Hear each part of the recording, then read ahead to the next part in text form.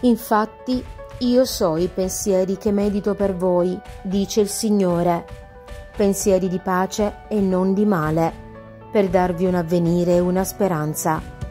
Voi mi invocherete, verrete a pregarmi e io vi esaudirò. Voi mi cercherete e mi troverete, perché mi cercherete con tutto il vostro cuore.